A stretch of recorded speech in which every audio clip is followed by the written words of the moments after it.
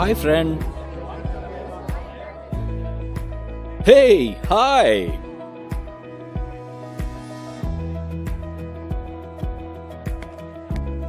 Hey, doctor, how are you doing? Hey, I'm doing good. Actually, I was looking for you. Oh, really? Why, sir? I was thinking to invest in mutual funds. Can you let me know which fund is best to invest? Doctor, I'll surely do that. But first tell me, I am ill. So, which medicine should I take? Uh, that's not possible. How can I suggest you medicine without proper analysis of your illness? Similarly, doctor, how can I suggest you a mutual fund without proper analysis of your financial need assessment? So let's first meet, analyze and design your financial need assessment. Then I can suggest the right mutual funds for you.